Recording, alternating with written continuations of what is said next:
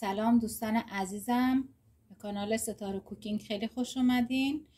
امروز آموزش سوهان کنجدی رو دارم براتون که یه شیرینی مناسب برای ایام عیدتون هم هست. به درد روزای دیگه هم خوب می‌خوره طبیعتا و هم راحت درست میشه هم نیاز به فر و همزن و اینا هم نداره.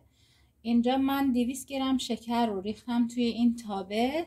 و حرارت زیرش هم متوسط رو به بالا قرار میدم.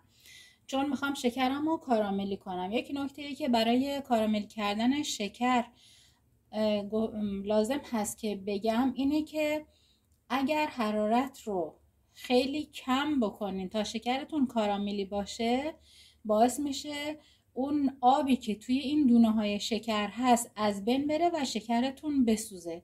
اگرم که حرارت رو خیلی زیاد کنین بازم همینجور شکرتون میسوزه. پس سعی کنین حرارتتون همیشه متوسط رو به بالا باشه. برای کاراملی کردن شکر اینجوری یک شکر کاراملی خوب رو شما خواهید داشت. دستشم نمی‌زنم تا اینکه این به مرور ذوب بشه. اینجا هم من از این ظرفی که داشتم استفاده کردم اینو چربش کردم با روغن جامد که بعد این سوهان کنجدی رو توی این بریزم و پهنش کنم. بعد 100 گرم کنجدم من استفاده کردم. که هم می‌تونین کنجد خام رو استفاده کنین هم بوداده. من کنجد خامی که داشتم رو توی تابه ریختم و تفتش دادم تا اینجوری تغییر رنگ داده. بدون روغنی. چیزی اینو همینجوری تفتش دادم تا تغییر رنگ بده. همینجور بدون تفت دادنم شما می‌تونین استفاده کنید. الان سب می‌کنیم تا این شکر شروع بشه به شروع کنه به ذوب شدن.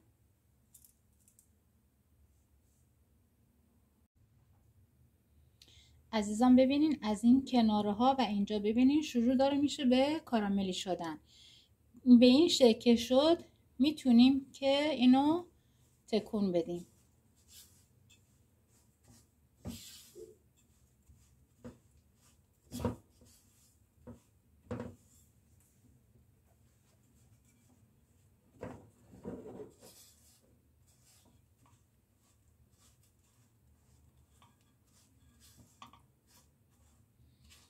وقتی که شکرتون رو به این صورت کاراملی کنین با این دمایی که بهتون گفتم دیگه طعم تلخی به هیچ وجه نداره.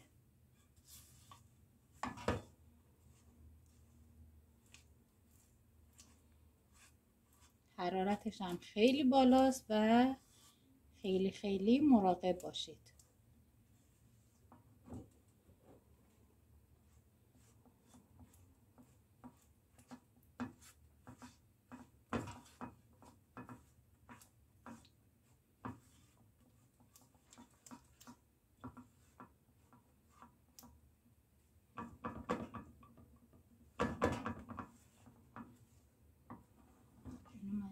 بزنمشون ورتر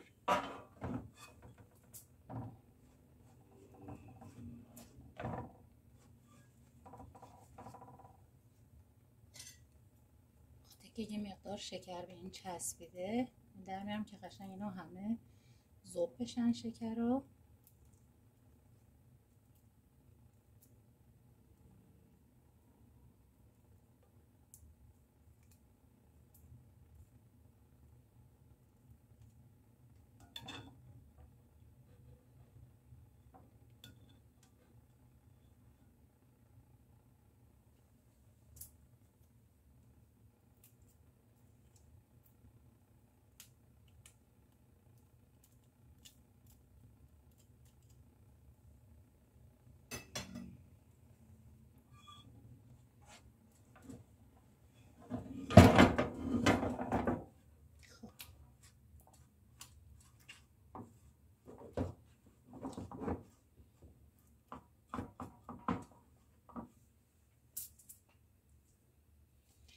اینجا 50 گرم کره پاستوریزه رو من اضافه می‌کنم.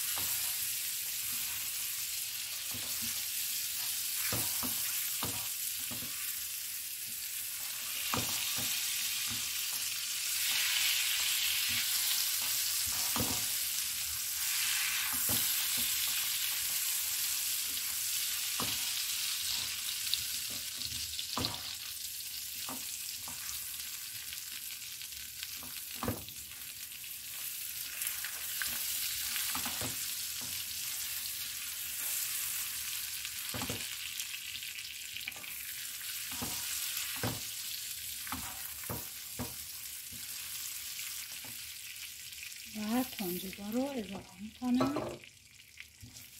و سریع هم می‌زنم.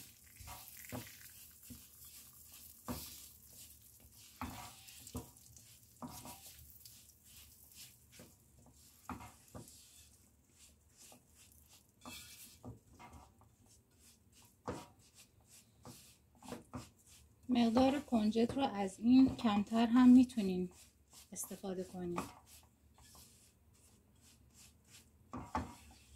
ولی این یه سوهان کنجدی پر کنجد رو بهتون میده.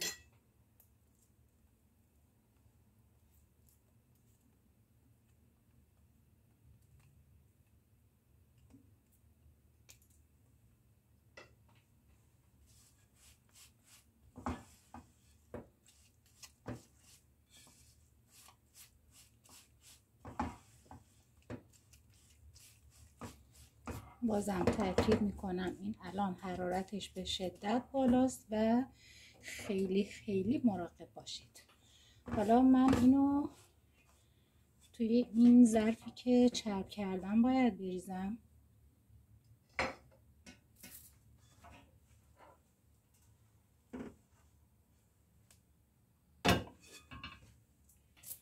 و با این قلتکی که دارم اینو سریع بازش می‌کنم. البته من اینجا این مقدار از خلال پسته هم استفاده می‌کنم.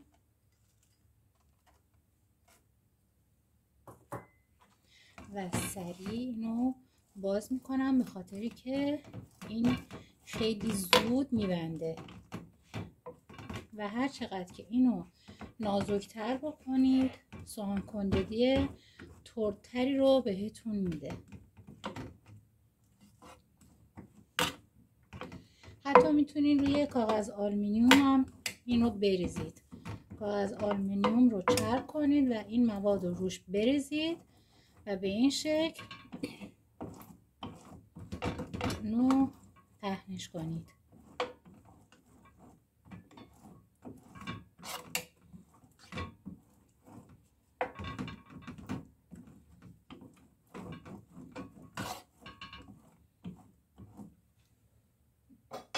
الان تا داغ هست می‌تونین به این شکل برشش هم بزنید. خط بندازید که بعد بتونید اینا رو تیکه تیکه کنید. حتی اگر نتونستید این خطا رو بندازید بعد به راحتی وقتی که خنک شد قشنگ می‌تونین با دست تیکه کنید. من حالا اینا رو همینجور چیز کردم که همه موارد رو بهتون گفته باشم. وگرنه با دست هم به راحتی تیکه میشه.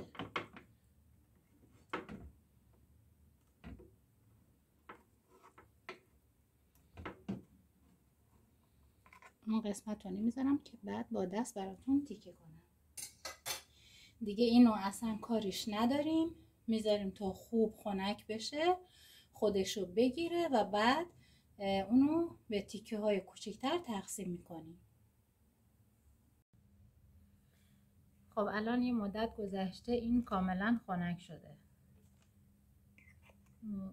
قشنگ. بتونم بلندش کنم. به خاطر که این زیرش هم چرب کردم این دو کاغذ روغنی قرارش میدم که روغن های اضافیش گرفته بشه.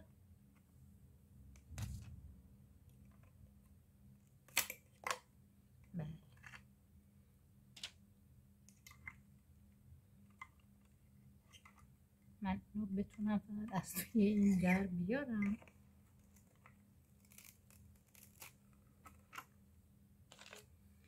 خب اینا که با چاقو خط انداخته بودم ببینیم به این شکل تیکه میشن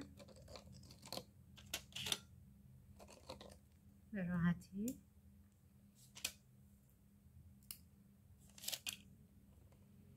میگم هر چقدرم که اینو شما نازکتر بتونین در بیارین ترتره